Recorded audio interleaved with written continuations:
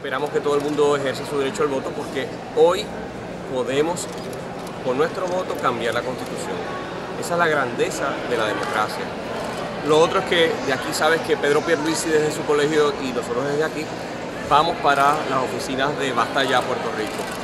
Eh, yo quiero hacer un reconocimiento público a todos los distintos grupos cívicos eh, que han participado en, este mensaje que se ha estado llevando por los pasados meses.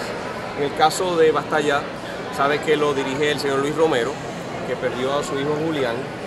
Y es como yo insisto, y digo el nombre, porque no es una estadística, son gente de verdad, de carne y hueso, que nos toca a todos defender.